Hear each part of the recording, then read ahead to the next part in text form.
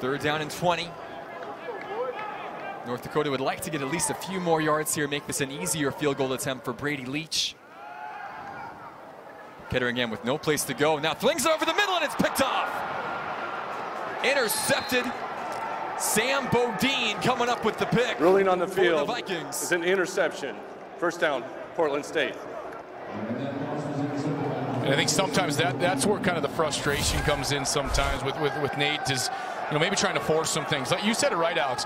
Gain some of the yards back to put yourself in a position to kick that field goal. You don't need to force a ball in there. Receiver set. UND just rushes three. Alexander scrambling, and he's got the first down. And again, coming up lame at the end of that play. Third down and six now from the 33. Alexander. Pocket breaks down, but he eludes the rush. Goes to the air, caught at the 10. Darian Green makes one man miss and is now brought down around the seven yard line. Green, who was the man in motion on that play, able to make the catch down the field and extend the drive as you see Tanner Palmberg. What's become a, a bit of a familiar sight the last couple of weeks again, playing without an ACL, the senior captain. The knee just not stable.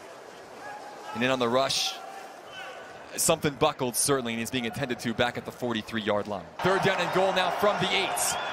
Alexander, quick strike, cut, no incomplete. Ruffin had it for a moment, but could not hang on.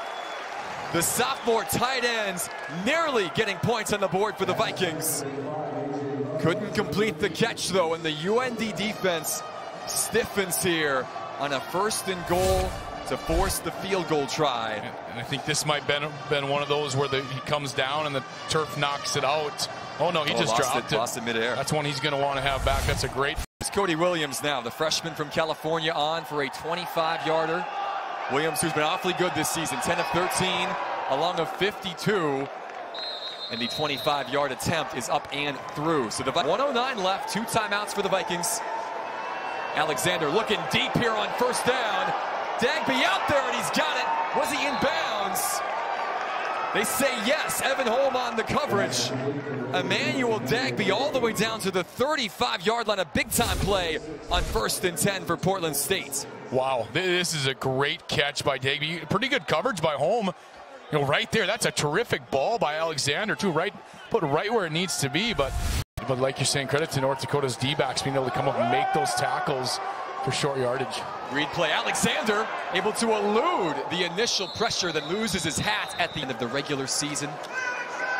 Play action and trouble here, and Ketteringham goes down. Pressure off the edge from Artis Manning. The corner blitz that time gets home. Larry Ross in the backfield as well. A damaging loss on second down as UND backed up all the way to the 40. Well, North Dakota's brought, brought that quarter blitz quite a few times today. Portland State decides at the perfect time they're going to run their own. Yeah, perfect time to call that blitz. Loss of 12 for Ketteringham. Third down and 19. North Dakota trying to get something going after the Jade Lawrence fumble recovery. Pressure again, and back-to-back sacks for the Viking defense.